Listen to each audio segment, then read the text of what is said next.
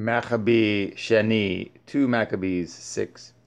Not long after this, the king sent an old man of Athens to compel the Yahudim to depart from the Torah of their fathers, and not to live after the Torah of Elohim, and to pollute also the temple in Jerusalem, and to call it the temple of Jupiter Olympius, and that in Gerizim of Jupiter, the defender of strangers, as they did desire that dwelt in the place. That rather the coming in of this mischief was sore and grievous to the people, for the temple was filled with riot and reveling, rather reveling by the other nations who dallied with harlots and had to do with women within the circuit of the holy places and besides that brought in things that were against the Torah. The altar also was filled with profane things, which the Torah forbids. Neither was it lawful for a man to guard days of Shabbath, or ancient feasts, or to profess himself at all to be a Yahudi. And in the day of the king's birth, every month they were brought by bitter constraint to eat of the sacrifices and when the feast of Bacchus was kept, the Yahudim were compelled to go in procession to Bacchus, carrying ivy. Moreover, there went out a decree to the neighbor cities of the heathen, by the suggestion of Ptolemy, against the Yahudim, that they should observe the same fashions and be partakers of their sacrifices and whoso would not conform themselves to the manners of the other nations should be put to death. Then might a man have seen the present misery.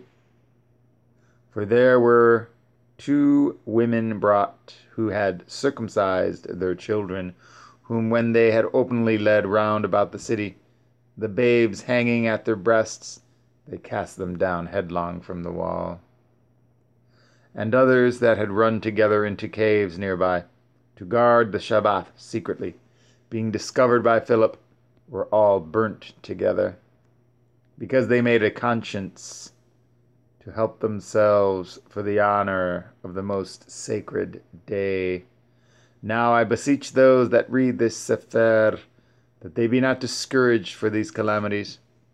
but that they judge those punishments not to be for destruction, but for a chastening of our nation for it is a sign of his great goodness when wicked doers are not suffered any long time, but forthwith punished.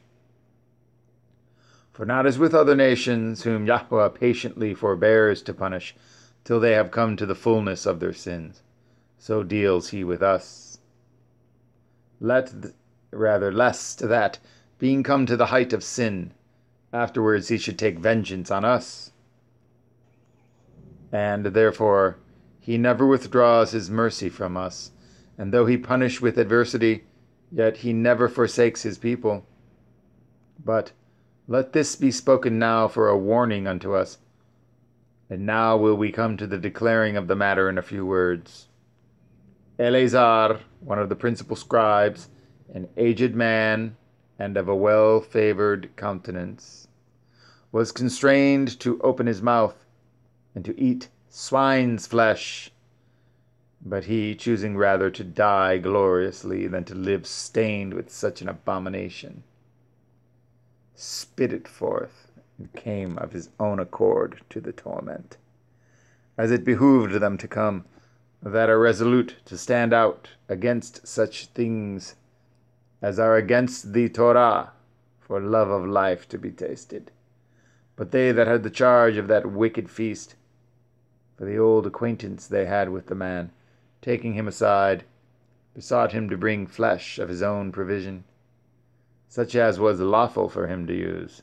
and made as if he did eat of the flesh taken from the sacrifice commanded by the king, that in so doing he might be delivered from death,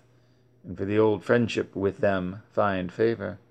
But he began to consider discreetly and as became his age, and the excellency of his ancient years, and the honor of his grey head, whereon was come, and his most honest education from a child,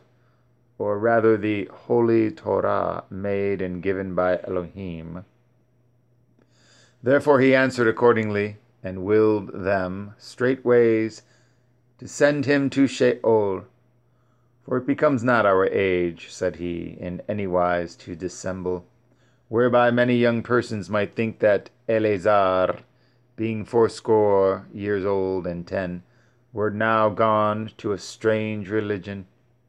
And so they, through my hypocrisy, and desire to live a little time and a moment longer, should be deceived by me, and I get a stain to my old age, and make it abominable. For though the present time I should be delivered from the punishment of men, yet should I not escape the hand of El Shaddai, neither alive nor dead. Wherefore now, manfully changing this life, I will show myself such as one, rather such one as my age requires, and leave a notable example to such as be young, to die willingly and courageously for the honorable and holy Torah. And when he had said these words, immediately he went to the torment. They that led him, changing the good will they bore him a little before into hatred, because the foresaid speeches proceeded, as they thought, from a desperate mind. But when he was ready to die with stripes, he groaned and said, It is manifest unto Yahweh, that has the holy knowledge, that whereas I might have been delivered from death, I now endure sore pains in body by being beaten, but in soul am well content to suffer these things, because I fear him. And thus this man died, leaving his death for an example of a noble courage and of a memorial of virtue, not only unto young men, but unto all his nation.